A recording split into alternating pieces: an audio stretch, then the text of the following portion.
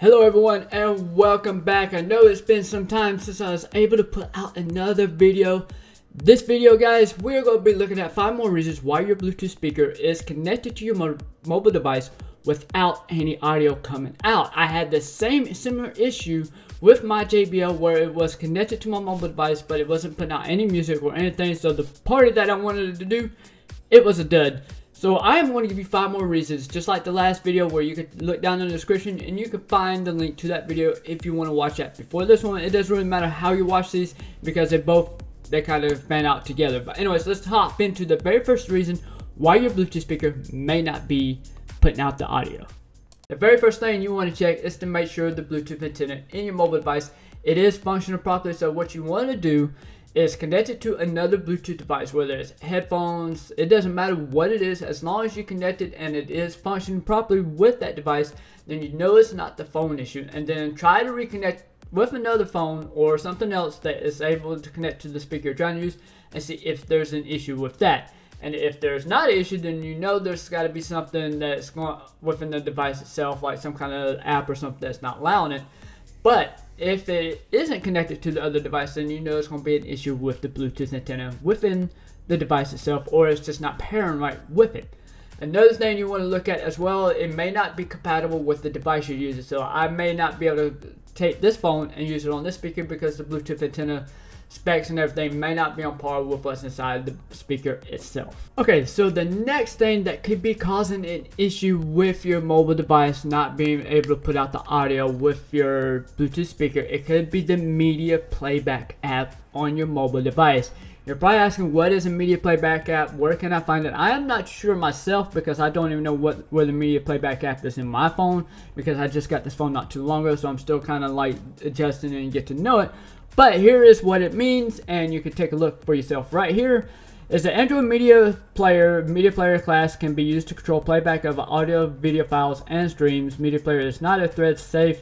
Creation of and all access to player instance should be on the same thread. If version versioning callbacks, the thread must have a looper. So in other words, that it may have an issue within the media player app itself. So you want to check the media player app, make sure it's got that. I'm assuming like a media player app could be like a YouTube or something like that, where it plays out videos or audio at the same time or something like that. I'm not too sure. You just may want to do some research on your end, but I will try my best down the road to do more research for you guys on the media player app and give you more advice on what you should do with that instance. So the next issue that you may be having, I would show you like a demonstration video or something of that sort to help you out to guide you through it. But unfortunately the phone that I got, it is the N200. So it doesn't have that particular function I am looking for. So when you connect a Bluetooth speaker to your mobile device, I know the Samsungs have it because my Galaxy S9 had the little media drop down where you could like turn it like just video calls audio for the Bluetooth speaker and all that sorts where you could just pick which one you want to use. Well, you want to make sure that particular thing says video call, audio, all that good stuff. Make sure all of that is on so you will be able to like navigate and be able to hear your audio. So if you have a Samsung phone, and I'm not too sure if the iPhones do or not have that function, but all you have to do is pull down the drop down menu and it should give you an option where you want to like just calls only or audio only or both. So you want to make sure the function of audio is on on that particular setting.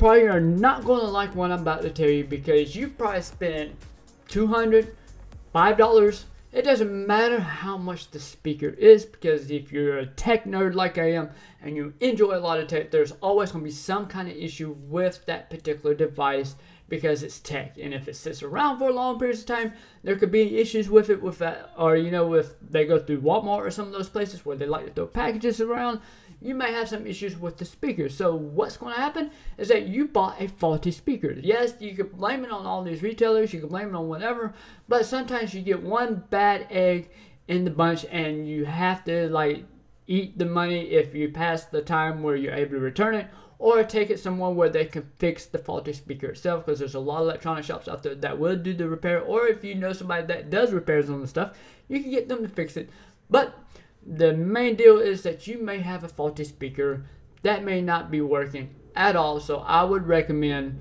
looking to return it or find a way to repair it. Okay guys, I hope you enjoyed this video. I enjoyed giving you all the information out there. I am going to try my best to put more video out there for all of you so that you are able to keep up with all the really cool Bluetooth speakers that I'm going to be getting in the near future. My next video, it will be the JBL, the gray one behind me, versus the Idioplink. And I will let you see all the really cool stuff because I did do reviews on both of those and you can take a look at both of those videos so you can kind of get the feel of which one you're going to like the most. And if you watch both of the videos, drop it down in the comments, let me know which one you like the most. But as far as what's going to happen, we'll find out if the cheaper speaker is better than the expensive speaker. So I hope you enjoy this video as I am RPM Nexus and I will see you in the next video. Peace.